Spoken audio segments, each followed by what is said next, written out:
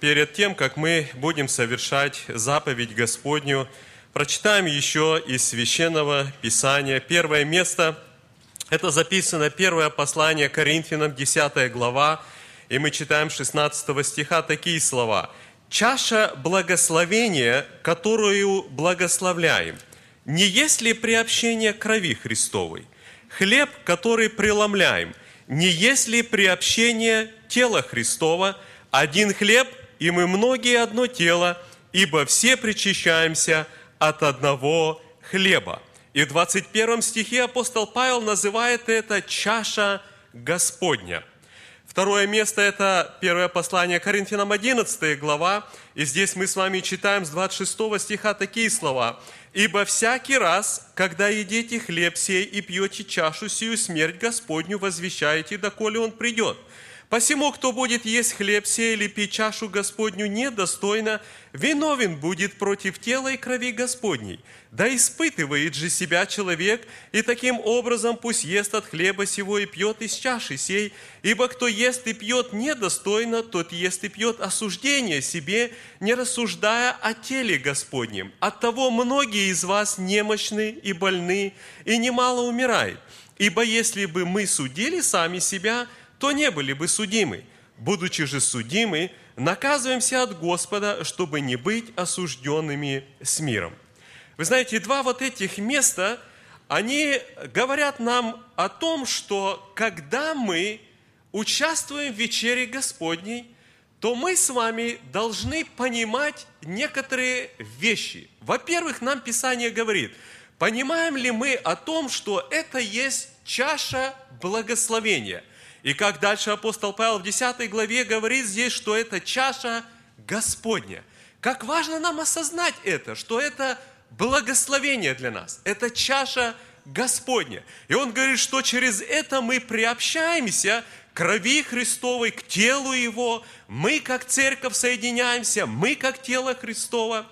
Другое место, он говорит, что когда вы участвуете в вечере, и если это сделано неправильно, неподобающе, то каким-то образом происходит то, что люди не только теряют благословение, но он говорит, что от того, говорит, многие из вас немощны и больны, и немало умирает. Вы знаете, невольно, наверное, стоит вопрос, почему именно происходит так? Почему происходит, что одно и то же участие для одного может быть чашей благословения, может быть чашей Господней, для других это может быть осуждение. Ведь не меняется же сама чаша. Почему именно происходит это в момент вечери? Знаете, есть одно тоже очень такое удивительное место, когда мы читаем Евангелие от Иоанна в 13 главе, когда Господь совершал вечерю со своими учениками, и на этой вечере Он, а, когда мы а, а, читаем, что на этой вечере он имел вот это общение со своими учениками, и тут же находился Иуда, и вот посмотрите, в 13 главе мы читаем удивительные слова, да, когда э, э, мы видим с 21 стиха, что Иисус возмутился их духом и засвидетельствует, и сказал, «Истинно говорю вам, что один из вас предаст меня». И тогда мы видим, что Симон Петр дал знак ученику, чтобы он спросил, и мы видим, что ученик, это Иоанн, припав к груди Иисуса, сказал, «Господи, кто это?» Иисус отвечал, «Тот, кому я, обмакнув кусок хлеба, подам». И, обмакнув кусок, подал Иуде Симонову Искариоту. И после сего куска вошел в него сатана.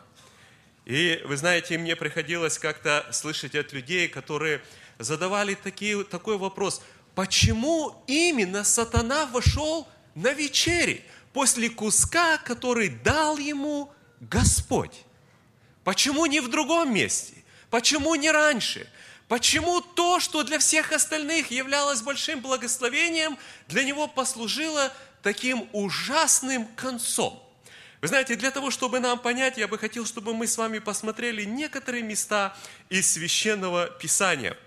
Знаете, очень удивительно, когда мы читаем книгу «Исход» в 14 главе, здесь описано о том, когда израильский народ вышел из земли египетской, читаем мы о том, как Господь благословил их, как они все это совершили, да. И вот мы видим удивительное с 5 стиха. «И возвещено было царю египетскому, что, на, что народ бежал. И обратило сердце фараона и рабов его против народа сего, и они сказали, что это мы сделали? Зачем отпустили израильтян, чтобы они не работали нам?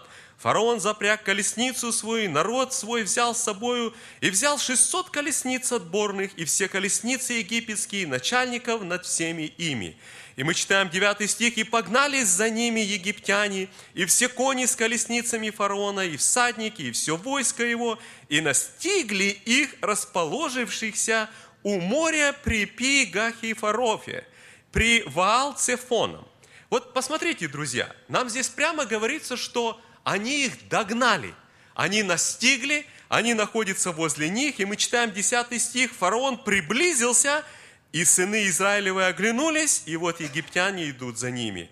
И весьма устрашились, и возопили сыны Израилевы Господу. И вот посмотрите, мы с вами читаем удивительное, а, описывается а, вот именно а, с, здесь, в 19 главе, да, и двинулся, в 19 стихе, и двинулся ангел Божий, шедший пред станом сынов Израилевых, и пошел позади их, Двинулся и столб облачный от лица их, и стал позади их, и вошел в середину между станом египетским и между станом сынов Израилевых, и был облаком и мраком для одних, и освещал ночь для других, и не сблизились они один с другими во всю ночь. Вы знаете, очень удивительно, когда мы читаем в предыдущей главе, в 13 главе, 21 стихе, то нам говорится, смотрите, что Господь же шел пред, ни, а пред ними днем в столпе облачном. И мы видим и ночью в столпе огненном.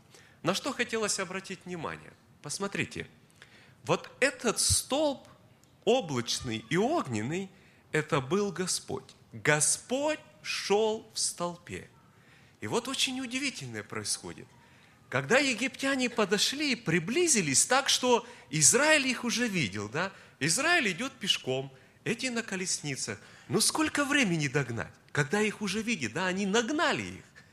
И мы вдруг мы видим, что Господь становится между станом израильтян и станом египтян. Становится посреди.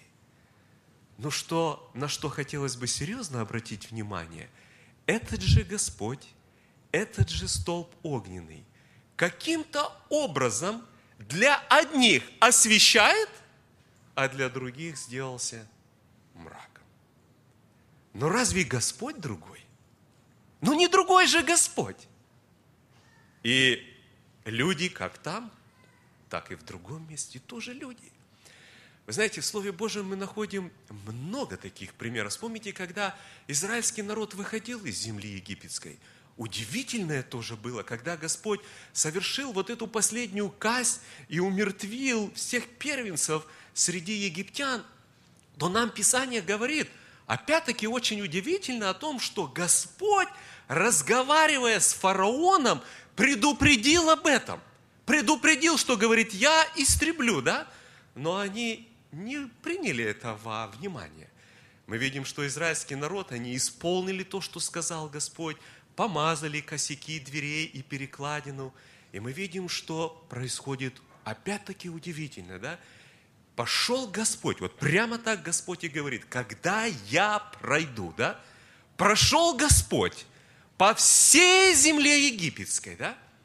И его прохождение для некоторых было вопль, потеря, смерть. Мы видим, что египтяне лишились серебра своего, они отдали серебро, золото, все отдали, да?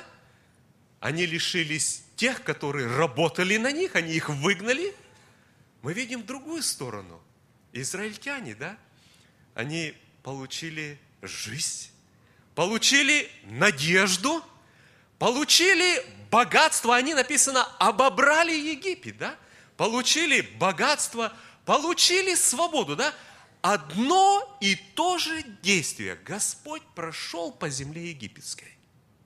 Для одних огромное благословение, для других смерть и проклятие. Вы знаете, мы даже в жизни иногда встречаем это. Я вспоминаю удивительный пример, когда еще мы жили на Украине, в Харькове, и один год, вы знаете, долгое время, практически месяц, летом не было дождя. Сохли поля. Люди, знаете, ну, действительно имели серьезное переживание. И вот я помню, в нашей церкви в одно воскресенье назначили пост и молитву. И никакой прогноз не предвещал о том, что, знаете, будет дождь. И церковь назначила пост, молитву, и мы молились. И вот я замечал возле нашей церкви, когда идешь, буквально через несколько домов, один из соседей, знаете, раскрыл дом и стал делать э, ну, новую крышу. Снял все вот э, покрытие. Ну, никто не ожидал дождя. И вы знаете, я помню, как вечером, возвращаясь с собрания, пошел не просто дождь, а пошел ливень. Сильный ливень, да? И действительно, сильно много воды было. И вы знаете, сколько было проблем у вот этого хозяина, да? Вот э, весь, вся, весь его потолок, дом, вот все, знаете, такой глиняный дом, и прямо и по наружу потекло все, да? И вот я помню, тогда думаю, интересно, как получается – для одних этот дождь, и для многих, да, был таким благословением. Его так ждали, о нем молились, да. Для других он послужил каким-то, вот, знаете, проклятием, наказанием. Одно и то же действие Божие. Почему так происходит, друзья? Вы знаете, даже когда мы приходим в Новый Завет, то мы находим удивительные места, которые говорят нам опять-таки об этом же. Вот посмотрите, когда мы читаем второе послание Коринфянам, то мы здесь находим во второй главе апостол Павел говорит удивительные слова с 14 стиха. Благодарение Богу, который всегда дает нам торжествовать во Христе и благоухание познания о себе распространяет нами во всяком месте. Ибо мы Христово благоухание Богу в спасаемых и в погибающих. Для одних запах смертоносный на смерть, а для других – запах живительный на жизнь. И кто способен к всему? В первом послании к Коринфянам апостол Павел первой главе опять-таки говорит, что проповедь о Христе для одних, он говорит, для иудеев соблазн, для еленов безумие, а для, говорит, нас это есть Божья сила. Вот, знаете, опять-таки удивительный пример. Вот знаете о том, мы как церковь молилась, прошел на прошлой неделе молодежный конгресс – и много собралось молодежи и других людей. А, много было а, проповедей и много покаяний. Как вот сообщили, что более 300 человек, которые а, отдали свое сердце Господу или возобновили свое покаяние. Большое такое действие вот силы Божьей было. И вы знаете, что удивительно, что после вот служения субботнего, когда закончился уже вот э, наше вот такое общение. И многие вот подходили, да, и говорили, какое действие Божие, какое слово, как Господь благословил, да, все. И как вот удивительно, да, когда подходили некоторые другие, в частности, один человек подходил, подошел, да, и с таким ожесточением, да, и с такой ненавистью, да, что это за служение, что это за проповеди, да, как это можно слушать, как, кто это может говорить, да, и с таким возмущением. И так вот, знаете, повернулся и пошел. И вот невольно как бы задается вопрос, почему? Ну вот почему? Ведь то же самое служение, ведь те же самые проповеди, да, Почему в одних он это производит большое умиление, молитвы, раскаяние, да, сожаление, какое-то, знаете, вот, э, вот то, что происходит, как мы иногда говорим, что умиление, да, сердце умиляется. Другой же человек в таком ожесточении, да, с такой критикой, у него кипит все, да, он слушать не может, да, он высказывает об этом. Вот апостол Павел и говорит, вот наша, говорит, жизнь и наши слова, они, говорит, для одних есть как запах смертоносный, а для других это вот благоухание в жизнь. Но почему так? Знаете, рассуждая об этом, я бы хотел обратить наше внимание удивительное место в книге Левит. Мы читаем в 10 главе, тогда, когда нам описывается событие, когда два сына священника, два сына первосвященника Аарона, Надав и Авиуд, и они принесли огонь чуждый, и Господь их умертвил, прямо находясь, когда они находились вот в скинии собраний, прямо в самой скинии. И мы видим а, а, третий стих этой главы, и мы читаем удивительные слова. «И сказал Моисей Аарону, вот о чем говорил Господь, когда сказал, в приближающихся ко мне освящусь и пред всем народом прославлюсь. Аарон молчал. Дорогие братья и сестры, вот ответ, почему происходит именно так. Мы, каждый из вас, читая Писание, имеем определенное понятие о нашем Господе. И мы имеем понимание, что Бог есть любовь. И мы это очень хорошо знаем. И тогда, когда что-то происходит в нашей жизни, то наше все упование и то, что мы больше всего говорим и помним, это то, что Господь есть любовь. Мы знаем эти места Священного Писания, Евангелия Иоанна, первое послание Иоанна.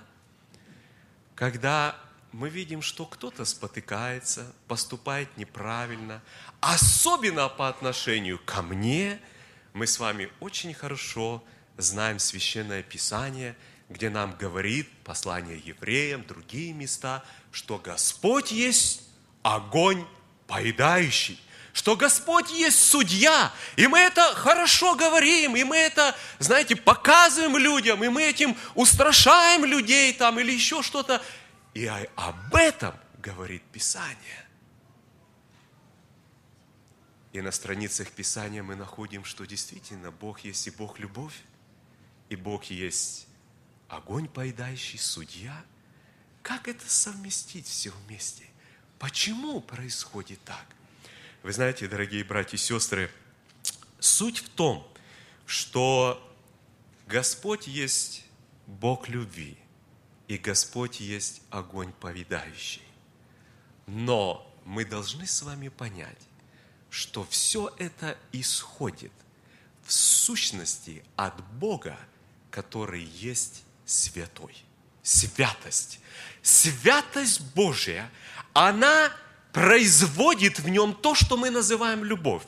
И святость Божия, она производит в нем то, что мы называем суд или огонь. Одно и то же. Но это исходит из святости Божией. Вспомните, когда нам открывается на страницах Священного Писания образ – Бога, когда нам открывается Его сущность, Его престол, то, что происходит на небе, то нам нигде мы не видим, чтобы там вот херувимы или окружающие Его, вот эти а, ангелы, чтобы они восклицали, что Бог есть любовь, или они восклицали, что Бог есть судья, но они всегда восклицают что? Свят, свят, свят Господь Саваоф, да? Они видят, восхищаются и провозглашают святость Божию. От святости происходит все остальное. И вот посмотрите, что говорит Господь. Господь говорит, поскольку я свят, Моисей сказал Аарону, помнишь, что сказал Господь? Что говорит, я освящусь в приближающихся ко мне. Другими словами, когда мы подходим к Господу, когда мы входим в Его присутствие,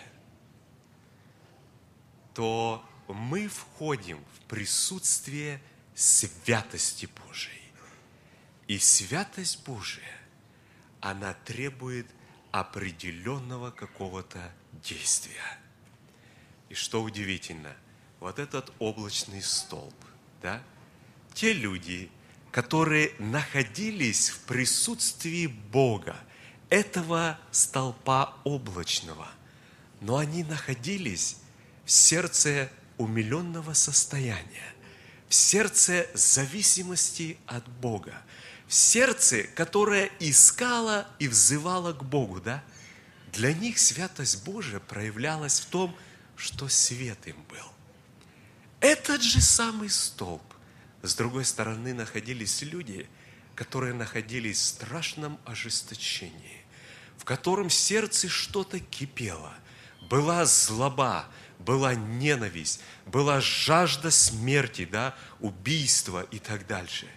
И эта святость Божия, она требовала, чтобы для них присутствие Божие сделалось мглою, сделалось темнотою, сделалось смертью. И каждый раз, когда мы находим, что кто-то находится в присутствии Божьем, да, когда проходит Господь, присутствие Божие, проявление силы Божией, оно производит различные действия в зависимости от того, с каким сердцем к этому подходит человек. Вот почему, когда мы с вами приступаем к заповеди Господней, нас Господь предупреждает и говорит, что вы должны это делать с правильным сердцем.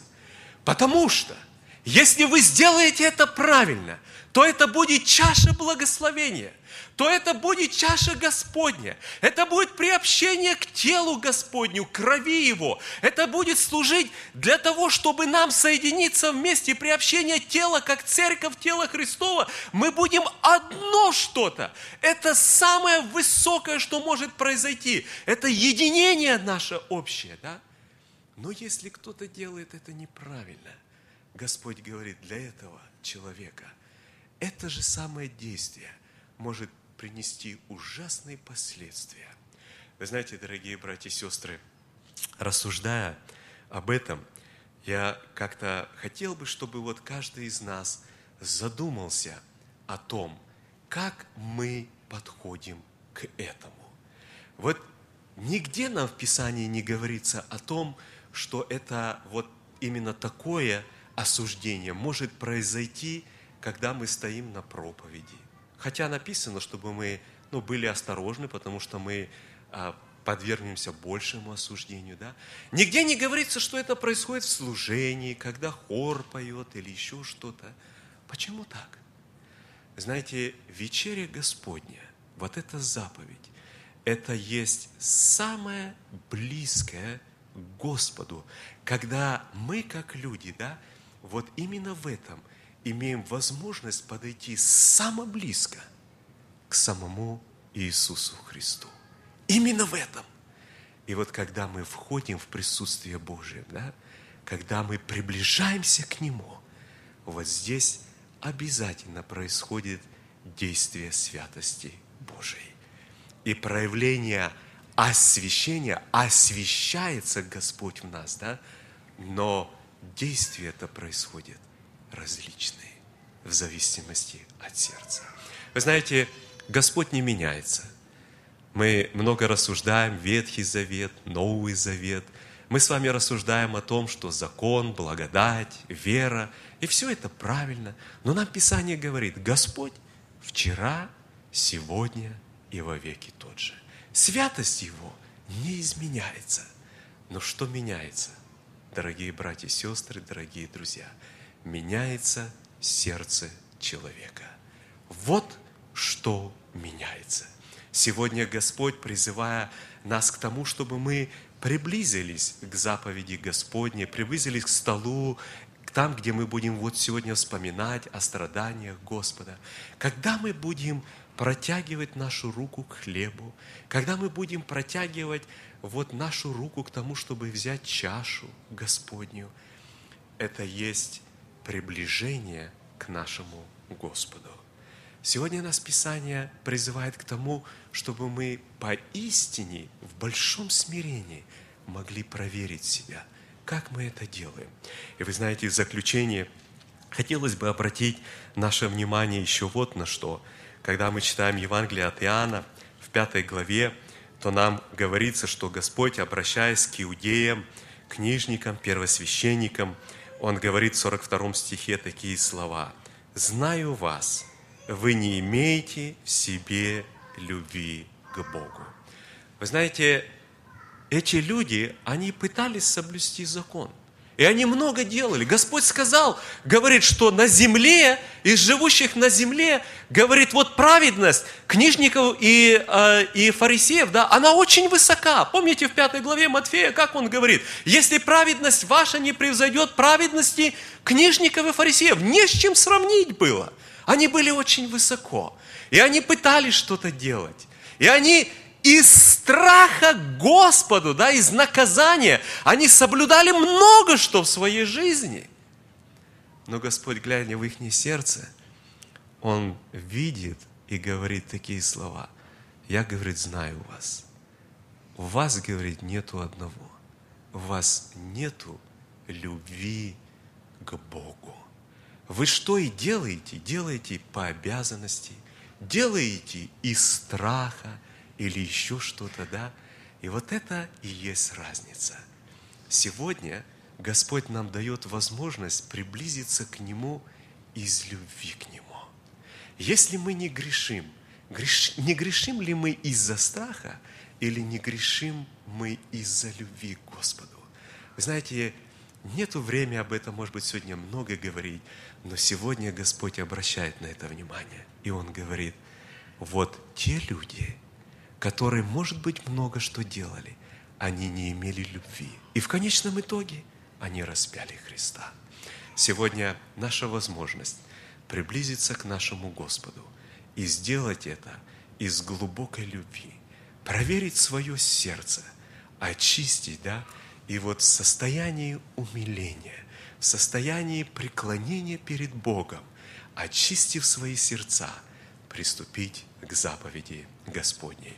Давайте мы сейчас еще склонимся, и пускай Господь поможет нам, проверив свои сердца, обратиться к Нему, чтобы эта чаша, чаша была благословение и чаша Господня для каждого из нас. Аминь. Помолимся.